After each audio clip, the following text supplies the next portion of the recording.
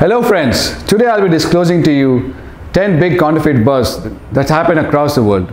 Let's get started. First one is wine. With a variety of wines available and a few being super expensive, not everybody can experience the authentic taste of wines. And this paved the way for wine counterfeiting.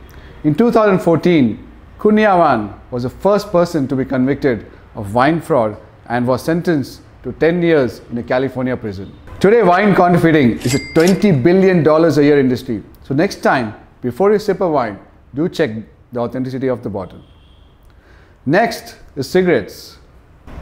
Counterfeit cigarettes has been on the rise in recent years.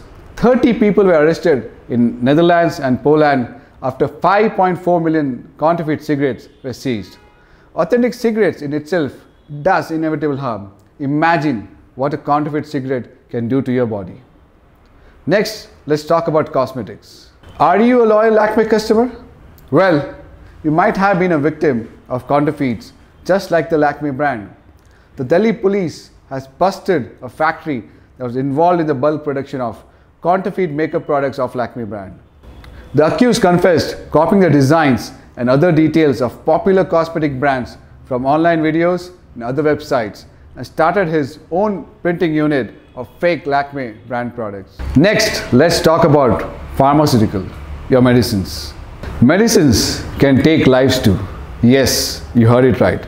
And it is a counterfeiting business that is to be blamed. 544 arrests and 63 million euros of fake pharmaceutical and illegal doping substances were seized. Terrifying, right? Next, let's talk about something which you use at home olive oil. Olive oil is healthy, but only if you're consuming genuine, unadulterated one. Experts reported 20 arrests and the seizure of 150,000 liters of fake olive oil. The criminals who raked in up, up to 8 million euros every year in criminal profit modified the color of low quality oils to sell them in the Italian and German markets as extra virgin olive oil. Next, let's talk about toys. If you have children at home, you need to really listen to this.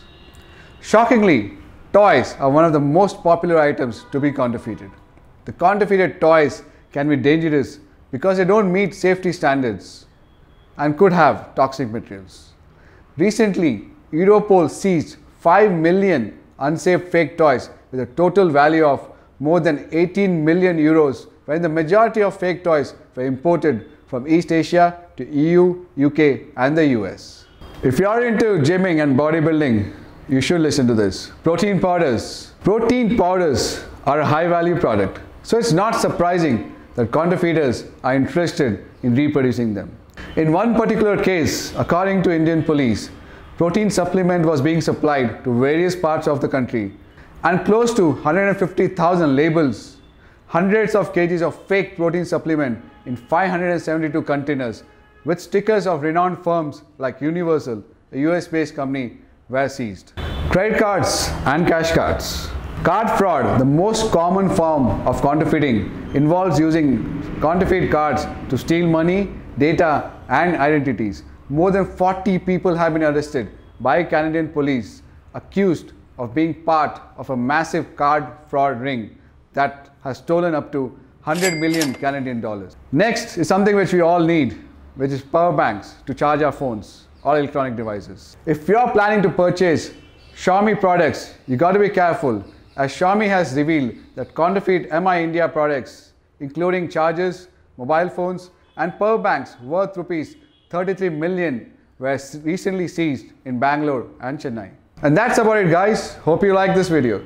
Do subscribe to this channel for more such videos. Thank you.